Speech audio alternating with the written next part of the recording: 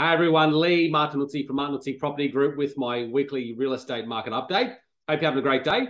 Uh, guys, this week uh, CoreLogic released their regional market update, um, which indicated that on the Sunshine Coast over the last quarter, we've seen property prices decline by 7.1%. Now, nationally, uh, property prices are reported to be down approximately 6% um, since the, uh, the peak back in April or March this year.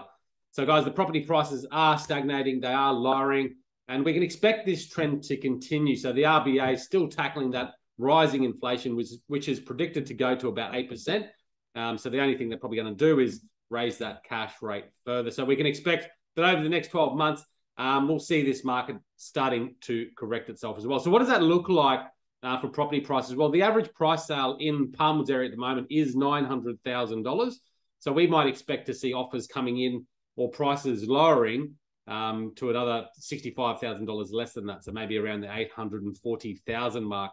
Um, on the ground level, in our experience, we are seeing with properties that are priced with realistic expectations based on comparable sales in the particular area over a 12 month period, we are seeing offers come in approximately 5 to 10% below those expectations. Um, the good news is there are still offers coming in. We've seen in the last week um, five offers being presented on different properties that we have listed for sale. Um, and usually we can find that happy middle uh, for both the buyer and seller. Um, but the sellers do need to be a little bit more negotiable on their price expectations in this current market. And I expect that'll continue going forward as well.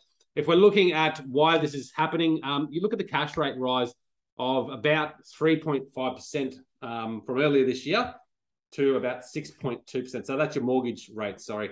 So 6.2%. So average home loan of $500,000, um, your repayments are up $800 per month. So that's a big hit for a lot of uh, a lot of people looking to buy. Obviously, a lot of people having mortgages as well. Um, it changes affordability, what the borrowing capacity is, and what people are therefore willing to offer. So that's what's uh, impacting the market right now, and impacting that that uh, buyer confidence as well. If we look at the history of um, property price booms and consequent um, market falls, nothing has been that dramatic. So whilst we're looking at a maybe a 7% decline in property prices over the last quarter on the Sunshine Coast, we have to keep in mind that property prices have risen anywhere from 40 to 50%, and for some properties, even more than that. So they have risen um, by, you know, 40 to 50% over that COVID period. Now, if we look back to 2005 to 2007, we had a boom market then. Prices went up 32%. The following two years, prices went down by 9%. In 20, uh, sorry, 2009 to 2010, prices went up again 29%.